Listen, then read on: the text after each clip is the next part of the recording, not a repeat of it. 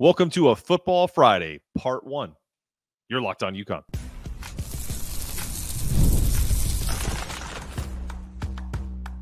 You are Locked On UConn, your daily podcast on the UConn Huskies, part of the Locked On Podcast Network. Your team every day. Thanks for making Locked On UConn the first listen every day. We are free and available wherever you get your podcasts and on YouTube as part of the Locked On Podcast Network.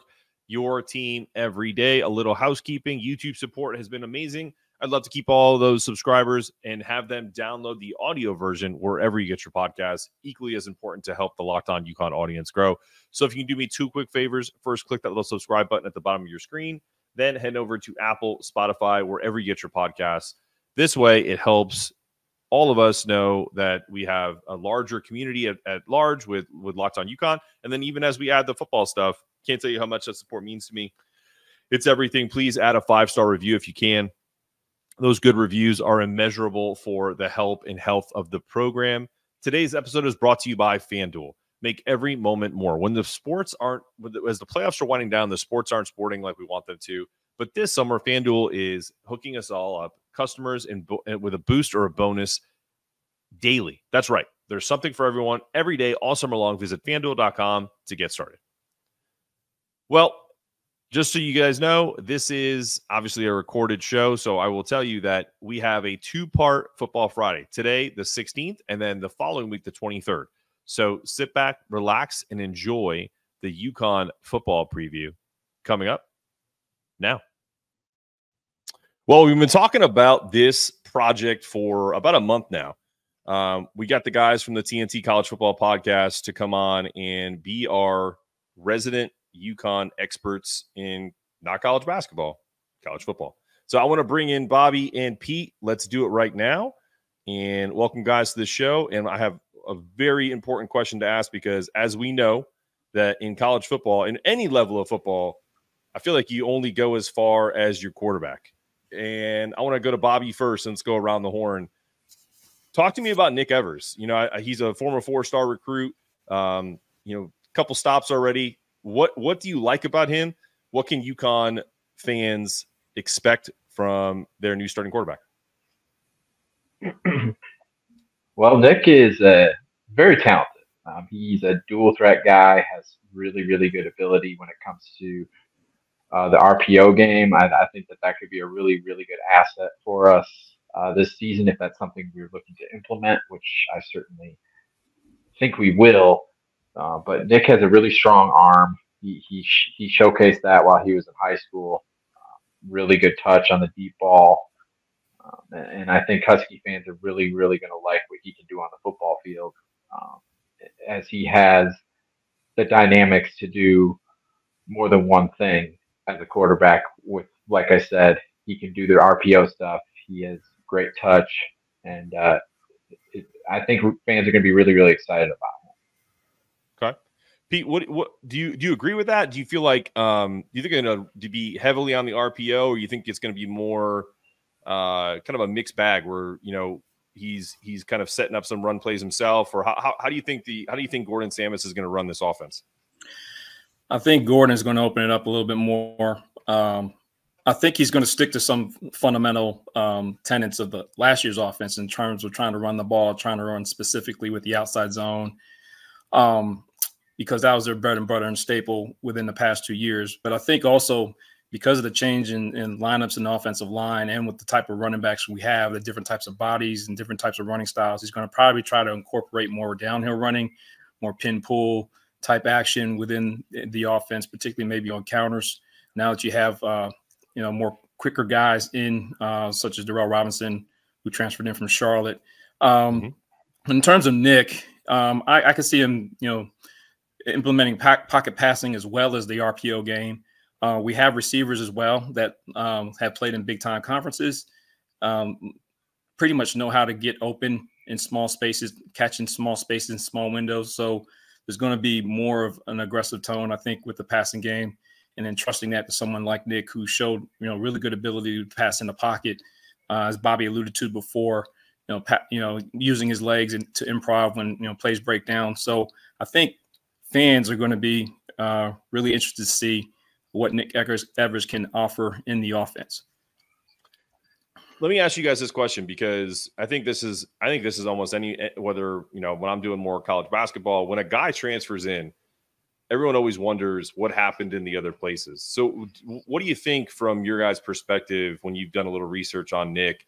Was there something that coaches thought was a red flag? Was it injuries? Just you know, just did it just not work out? Maybe not the type of offense he wanted to run. What attracted him to come to UConn, and and kind of what can we expect from that perspective? You think he's the type of guy that you can build a you know competitive football team around? Open ended. Whoever wants to go first. Um, the rumors were that he had a hard time picking up offenses. Um, but that's any young quarterback.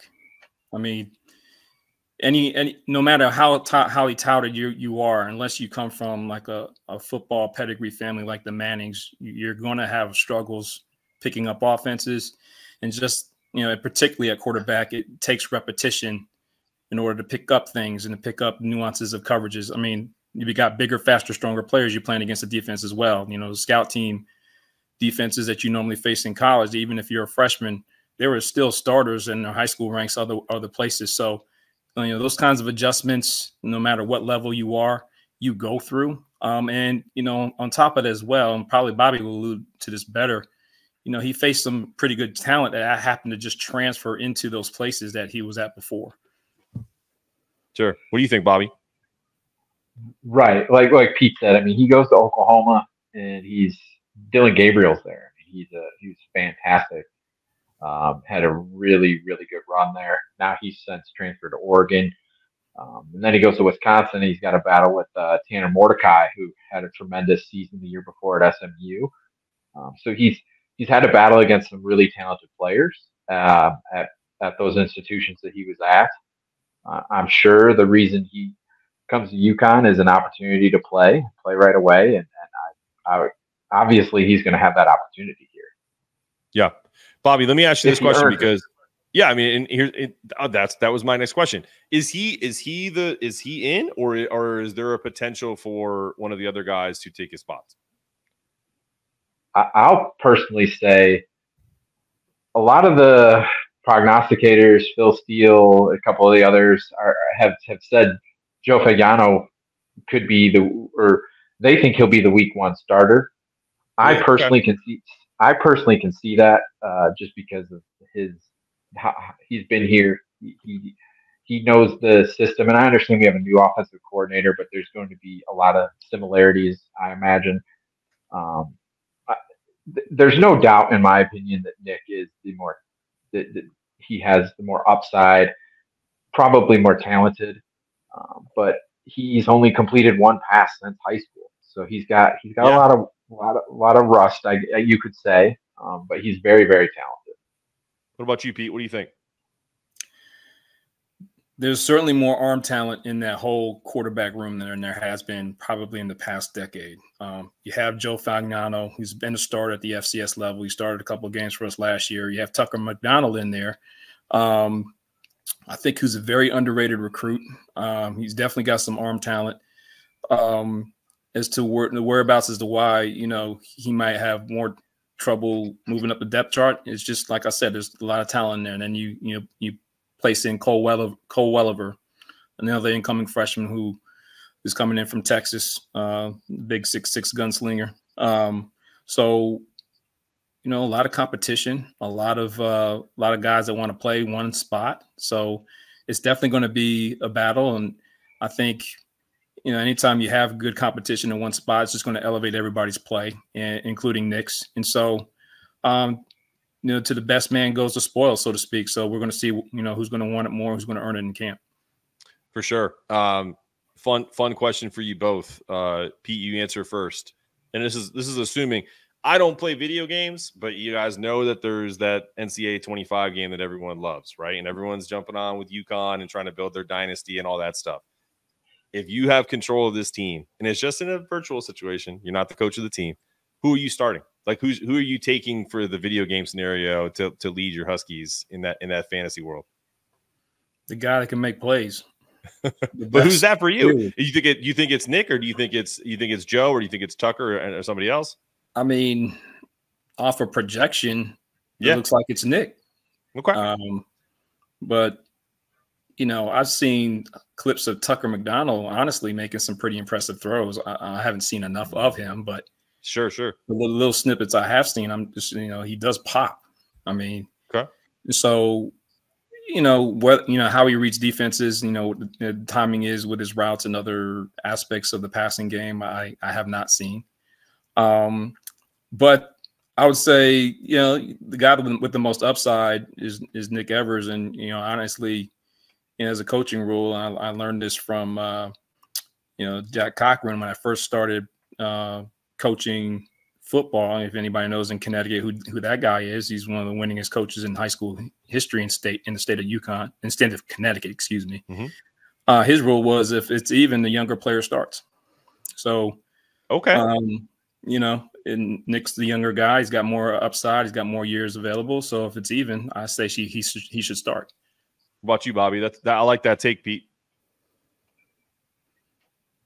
if if I'm talking just from the video game perspective, I look back at myself when I was 12, 13, 14 years old playing video game, and I, I always wanted to be like Vince Young or have the running quarterback running the option. Yeah. fun with that. So I'm gonna take I'm gonna take Nick just because of his running ability. Just because to me, playing those games when I was younger, it was always fun to have your quarterback running all over the place. for sure. And honestly, guys, like whether bringing you guys into this is is what I want. Like I, I want these. I want you guys to kind of give me that expert opinion. But it, my my take on this, if if we're looking at eligibility, if you're looking at a guy that has been all over the place already, and he's got you know three years of eligibility, it's it's no different in any program. You don't you don't transfer a guy in that has that ability to to have him sit. You know what I mean? Like that to me is is the biggest uh, kind of like aha moment whether you whether you follow UConn football or not. This kid is the most talented. If you're running a new offense and you're you're kind of starting fresh, so to speak, um, it would honestly it would make no sense unless unless you're giving it to Tucker Mark Tucker McDonald as a freshman, which is also kind of a maybe a silly one. But you know, I think I think you gotta gotta give it to Nick. But we're gonna we're gonna talk about no matter who the quarterback is, you still got to protect him. And I want to I want to hear your guys' take on this O line and this remake offensive line. We got a lot of transfers. Uh, talking a little bit about it pre-show, so um, we'll talk about that coming up after this. I love sports. I love them so much. I never want them to stop. But as the playoffs wind down, we get fewer games and the sports aren't sporting like I want them to. But FanDuel lets me keep the sports going whenever I want. All I have to do is open the app and dream up bets anytime I'm in the mood. And this summer, FanDuel is hooking up all customers with a boost or a bonus daily. That's right. There's something for everyone all day, all summer long. So head over to fanduel.com and start making the most of your summer. FanDuel, the official sports betting partner of Major League Baseball. Hey, Husky fans, fall is here. Yes, it's coming. You know what that means. College football is back. I think we're nine days away. And just in time, I've got some awesome news. I'm thrilled to be working with Home Field Apparel.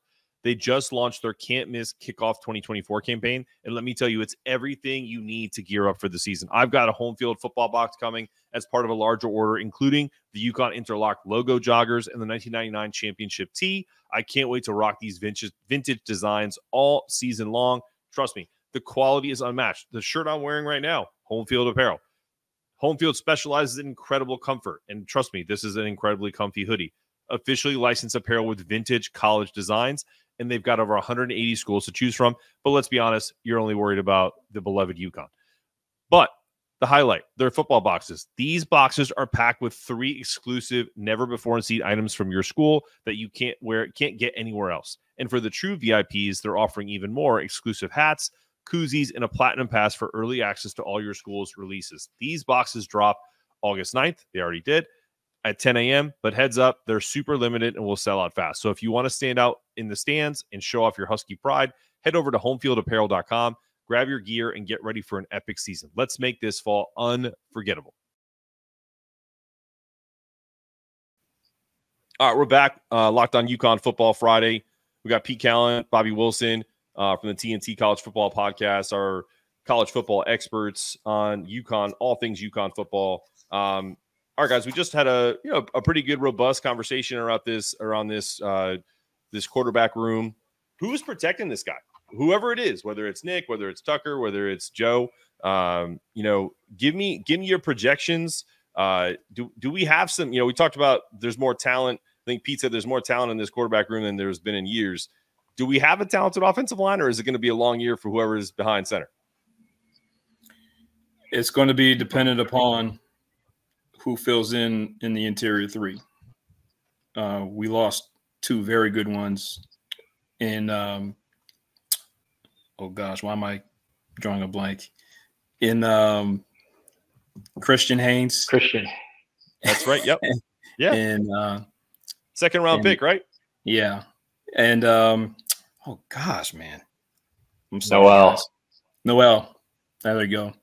They were they were the two guys.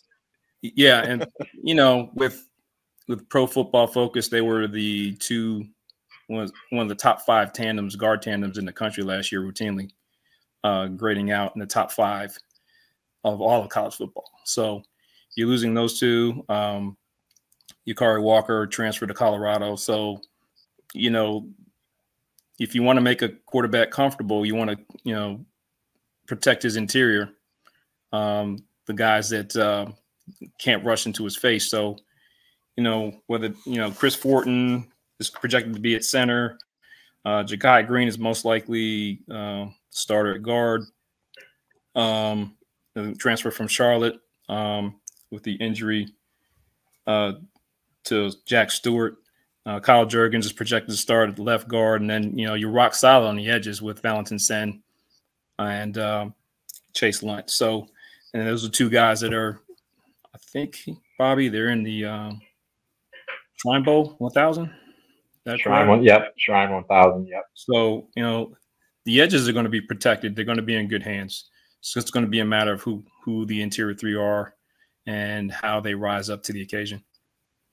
Bobby, before I get your analysis, thanks thanks for that, Pete. Um, do you do you feel like with Gordon Sammis being uh, an offensive line coach, do you feel like he's going to, you know, utilize more? I don't want to say more technique because obviously you're offensive coordinator. You're going to you know run your offense no matter what. Do you think they're going to do more?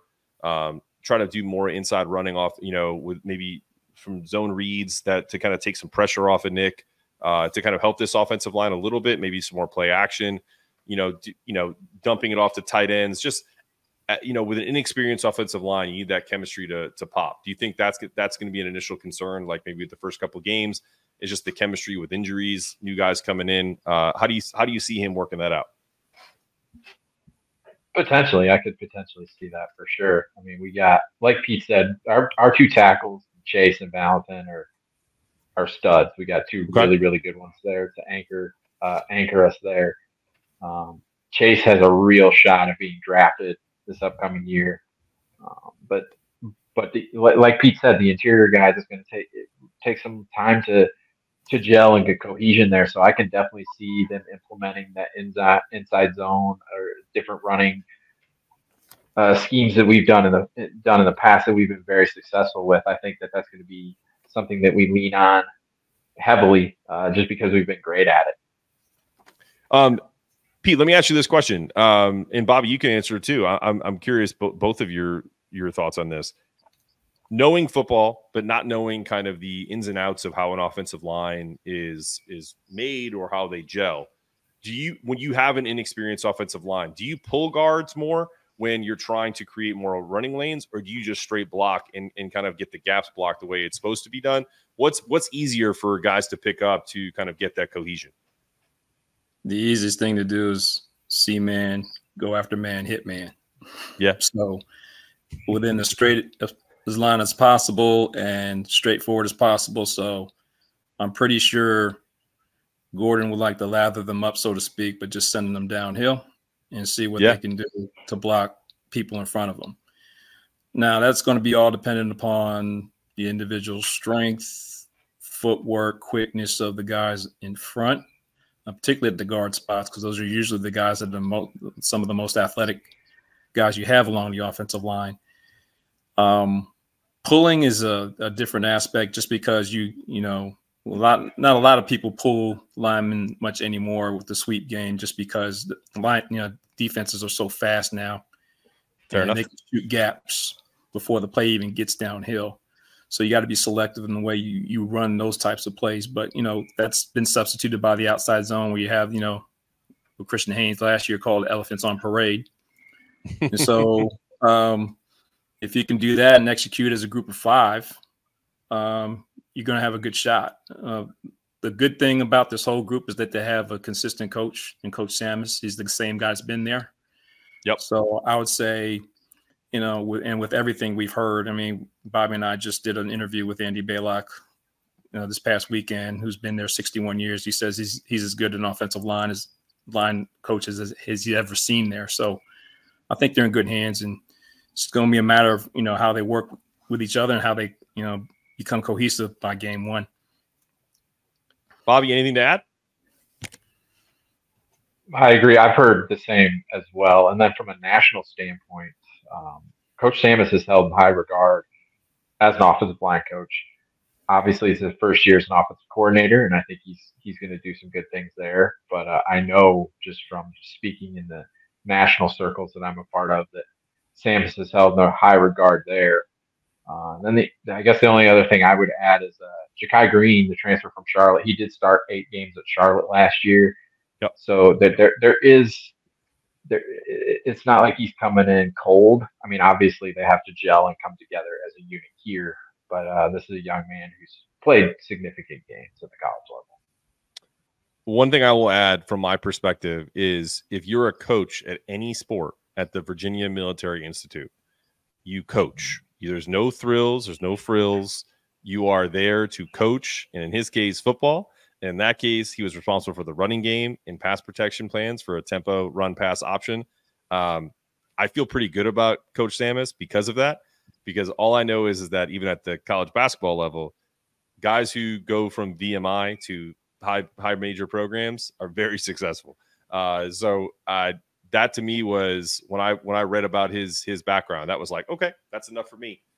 That because if you've ever been to Lexington, uh, Virginia, ain't nothing to do. So uh, there's there's only, only you're only working on you're only working on your craft. So my man is is ready to roll. And he developed an All-American wide receiver when he ran that offense too. So that's even more impressive because VMI is not known for passing the ball at all. VMI is known for hard work. That's it. Right. And that's a good thing. Like that, I'm, I'm not minimizing it. You know, these these kids work their butts off. They work their tails off. So, um, no, it's great perspective, guys. I want to hear about. You know, we're going to talk about something sexy, weapons on offense. We're going to do that coming up after this. Summer in baseball, there's nothing like it. I remember catching a game last summer, and the energy was electric. If you're like me and love hitting MLB games, Game Time is the app you need. It's the official ticket marketplace of Major League Baseball. And here's the best part the closer you get to first pitch, the lower the prices go. Who knows? You could have been one of your first games, would have could have been at US Cellular Field and watch Aaron Judge hit it the fastest 300th home run in Major League Baseball history. Took him 187 less games than I believe Ralph Kiner. So I've used Game Time to grab last minute tickets, and it's a game changer. You can see the view from your seat before you buy. And with, with their all in ticket pricing, there are no hidden fees. Plus, they have a guaranteed lowest price, so you know you're getting the best deal. Take the guesswork out of buying tickets. Download the Game Time app, create an account, and use the code Locked On College for twenty dollars off your first purchase. Trust me, you don't want to miss out. Game Time, last minute tickets, lowest price guaranteed. Go check it out. All right, we're back. Locked On UConn. Something to, to bring up, guys. If you're listening to this for the first time, and you're like, man, you guys are talking football. This is awesome. Um, I'd love to go to a game this year. We have two tickets that we are giving away for the home opener against Merrimack September 7th here's how you enter you have to pay attention. You can go back. This is going to be recorded, so you can pay attention to this.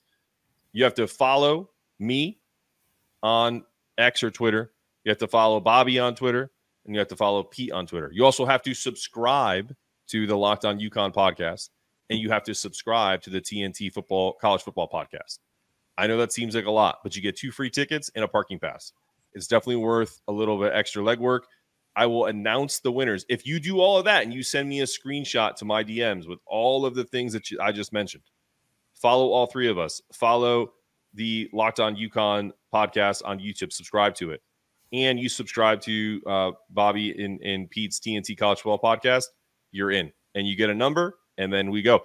I mean, heck, if you do it and only ten people sign up, you got a one in ten chance to win. So I, I, hope we get a lot more. We want to give away these tickets, and I'll announce the winner on September, uh, September, August 24th for September 7th game. I'll get you those tickets transferred. Uh, it's from a, an alumni, and it is also you're going to get a parking pass. That's probably going to come a lot later, closer to the game time. So don't worry about it. We'll get you those that parking pass too. So that's good stuff. We'll talk about it as as it gets closer. But um, what will they see on offense as far as weapons? We talked about the O line. We talked about the quarterback. If they get these tickets, who are who are the weapons on offense? I, I know we got a multi multi talented running back room. We got new wide receivers. We got guys that have come back. Um, what what jumps out at you right away, um, Bobby? You go first. Like, what's the first thing that jumps out on you on this offense, other than what we just talked about? Well, our, our running game obviously is what jumps off first, just because we've been very, very successful with that. We got two good ones, homegrown guys, and Cam Edwards and Victor Rosa. And we've also added a couple pieces that are that are going to be exciting. And Pete mentioned Durell Robinson from Charlotte coming in, and then uh, Mel Brown from Gardner Webb uh, joining as well. Uh, Brown is super fast, uh, really, really quick feet. Uh, I, I, could see him potentially being utilized in the in the return game as well, potentially. But we have some other guys that could do that as well uh, from the wide receiver perspective that we've added. Um, TJ Sheffield coming in from Purdue, really, really, really tough, hard nosed guy that makes really tough catches on third downs. He's done it for a while now at Purdue at the high, at a very high level. I remember I was at a game a few years ago, Penn State against Purdue. He made at least two third down catches that were very, very tough against a very, very good Penn State defense in that game. Uh, you got Skyler Bell coming in from Wisconsin. He had a very productive uh, season in 2022 there. Uh, Josiah Gathings from Akron, he was second team All MAC last season. Akron didn't have a very much team success, but he had a very, very good year himself. Um, the UConn uh, X Twitter account today put out a, a, clip of him catching a deep ball where he dove and made a fantastic catch uh, that Joe threw. Um, then Brett Buckman returning. He's a really solid. I, I, I don't want to call him a possession receiver because I feel like that's disrespectful, but he he makes the the tough catches as well. When you need a when you need a tough catch, he's gonna he's that guy that you want to make that catch. And um, like I said, we Ezra Anderson is another transfer we picked up six five from yeah. uh, from Campbell. He's obviously you see six five and you think, wow, he can throw fades in the in the end zone now. So it's another guy that we can just uh, find and, and have fun. I remember my days playing playing. I had a I had a a six eight receiver to throw it up to. So those are fun uh, when you have a guy like that. Uh, we also added Shamar Porter from Kentucky. He's one of the highest ranked recruits from a uh, from his high school days that we've ever had in program history. He was a four star kid, very very talented guy. Kylish Hicks is another playmaker at the receiver position that could uh, that is good in the deep ball situation. So I think this is one of this is probably the first time where we can sit there and say like we have some one we got some big receivers that we're very very comfortable with, but it's just a really really good group of receivers that we're comfortable with and in many different situations and we'll still be really really happy with our running backs just like we've been the past couple years. Pete, same question, do you, but I'm going to give it a little twist to it. Do of of of what Bobby said. Um, of all of the guys he just mentioned, do we have any dogs? Do we got any Ores? I'm gonna give you. I'm gonna give you uh, my favorite favorite quote. I'm sorry, I'm a basketball guy, so I always bring it back to basketball. The great Jerry West, he just passed away. He said, I, I, I was a wolf. I eat dogs for for breakfast." Right. So, do we have any wolves on this team? We got any huskies that are going to bark a little bit, or do you feel like it's just a, a collection of dudes that are fighting real hard, or is there one guy that really stands out? I'm curious. I think TJ Sheffield stood out to me with all the players that we reviewed this past uh, summer and past spring during the signing period. I remember during one of our shows, I I kind of called him a poor man's Hines Ward. Okay, it's pretty high praise. He would just get open, sometimes not by a lot, but the quarterback would put the ball in the air anyway, and he'd find a way to come up and come up with the catch in tight windows Yep. would move the chains for first downs, which is someone I would consider a dog at the receiver spot, especially when you know when you're playing in a run oriented offense. You need someone that can move the chains. And Yep, um, absolutely.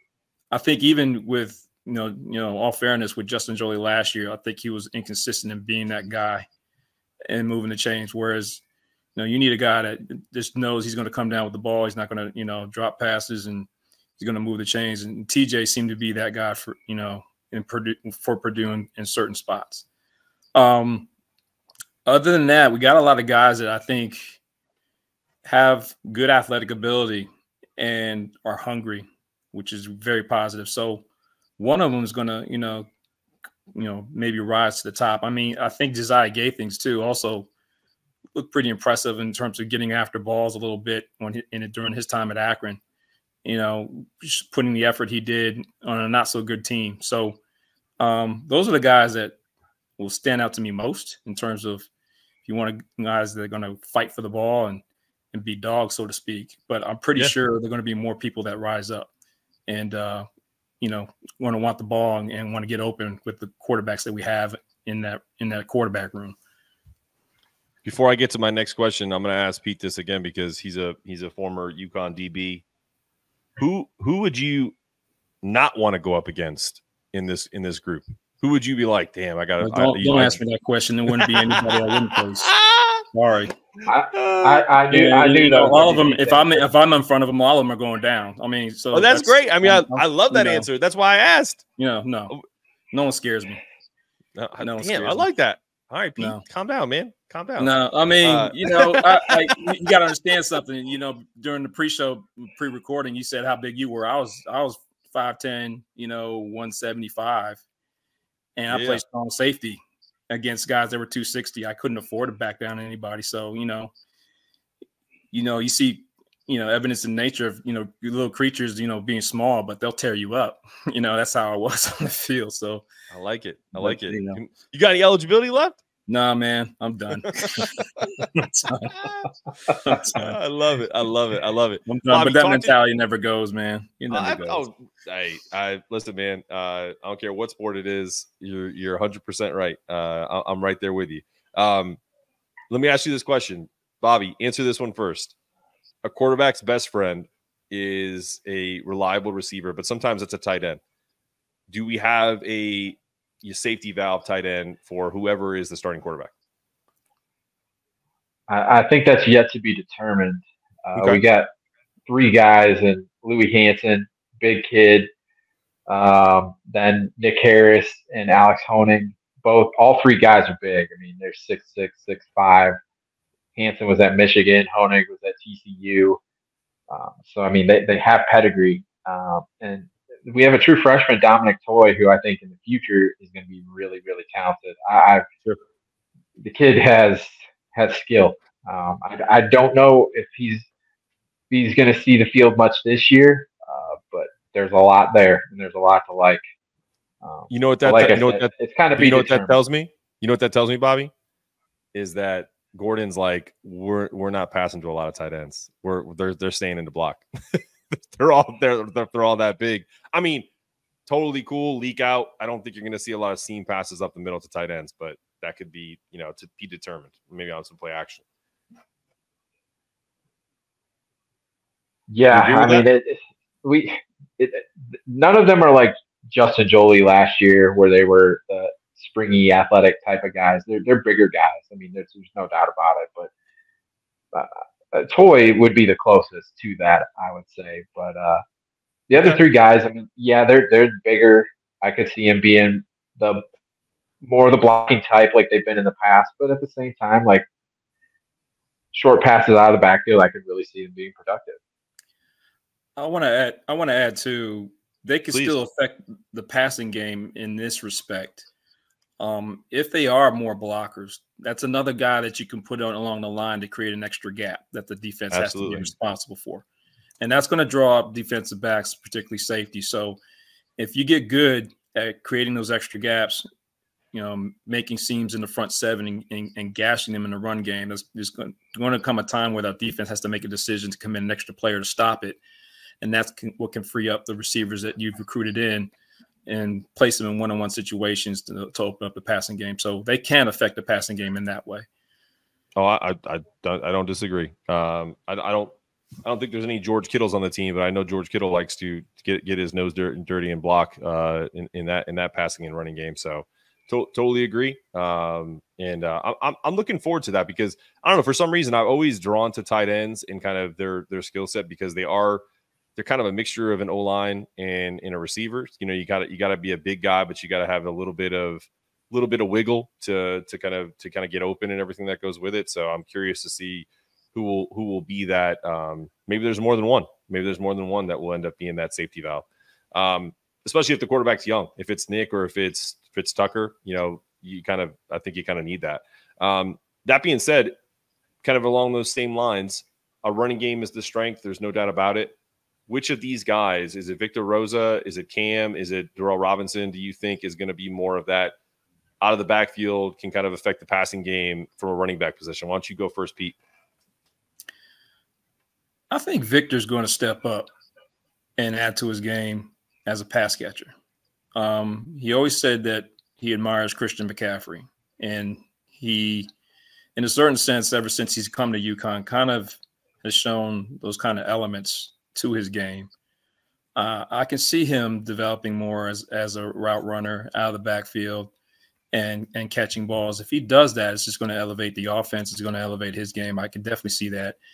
You know, Cam Edwards didn't show too bad of hands either. You know, coming in and playing as well. I mean, I remember one one game he had a catch in the back of the end zone where he, he toe tapped that that line and he was covered. I think it was South Florida, and so he's he's shown an ability as well. Um, you know, any of these backs, I think, has the capability to add to the passing game coming out of the backfield. I've not seen too much of Durell Robinson catching the ball. I do, I do know that when he hits the hole, he's got a lot of wiggle. But when he explodes off that first step, he's got a pretty good one. And uh, Mel Brown as well. I, I think uh, he's got a good first step quickness with the ball, and I could definitely see him being a mismatch on linebackers coming out of the backfield as well. So all, all four of them have capability to, to possibly impact the, the passing game. Okay.